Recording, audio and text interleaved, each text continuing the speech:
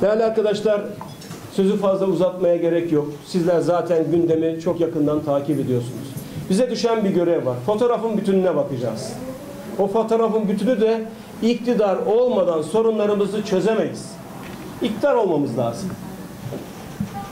Bugün bu heba edilen kaynaklar, çarçur edilen kaynaklar bizim kaynaklarımız.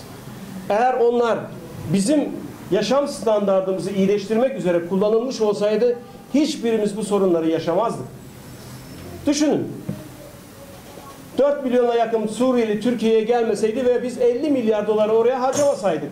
O 50 milyar dolar esnafımıza gitseydi, emeklimize, işçimize gitseydi ne olurdu? Veya istihdama yönelik kullanılsaydı ne olurdu? Düşünün.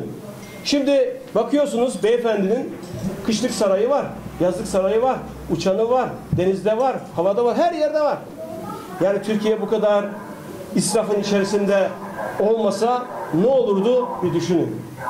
Ve bu ülkenin kaynakları beşli çeteye değil de halkın refahı için kullanılsaydı, dar gelirlerin refahı için kullanılsaydı ne olurdu? Çok güzel olurdu aslında halkın refahı için kullanılsa.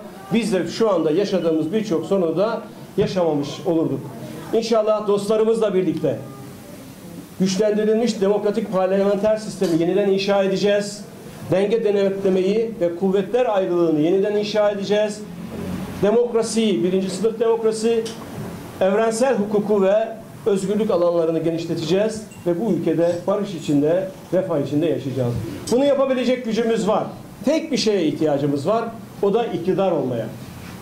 İktidar olmadan ne sizin, ne benim, ne arkadaşlarımızın hiçbirimizin sorununu çözemeyiz arkadaşlar. İktidar olmak zorundayız. Ve çalışmak zorundayız, mücadele etmek zorundayız. Karşımızda bir parti devleti var artık. Ve tamamen devletin gücünü vatandaşa siyasi olarak kullanan, bizi ayrıştıran, ötekileştiren, senden benden diye bizi bölen bir yapı var. Bu yapıyı geldiği yere geri göndereceğiz. Demokratik yollarla onların artık görevine son vereceğiz ve halkın iktidarını dostlarımızla birlikte kurarak bu ülkeyi normalleştireceğiz. Ben hepinize çok teşekkür ediyorum. Bu süreç bizi önümüzdeki günlerde çok daha yoğun bir çalışmaya sevk edebilir. O anlamda sürekli sahada olmak zorundayız. Ben bayram için geldim ama üç gündür ilçelerdeyim. Ee, sürekli dolaşıyoruz. Hem partililerimizle bir araya geliyoruz, hem vatandaşlarımızla bir araya geliyoruz. İnanılmaz sıkıntı var, inanılmaz sorun var.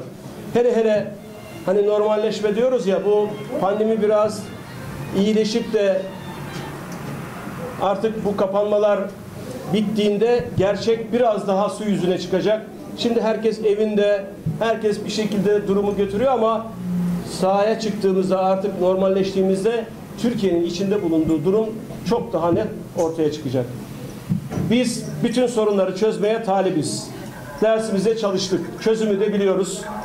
İnşallah iktidara geldiğimizde de o çözümü ortaya koyacağız. Bu ülkenin kaynakları, bu ülkenin sorunlarını çözmeye yeter. Yeter ki siz tercihinizi vatandaştan yana kullanın, halktan yana kullanın. Sorunu olan insanın sorununu çözmekten yana kullanın. İnanın çözülemeyecek gibi düşündüğünüz, kaderimizmiş gibi gelen sorunların nasıl çözüldüğünü de hep beraber göreceksiniz. Bir beş yıla ihtiyacımız var.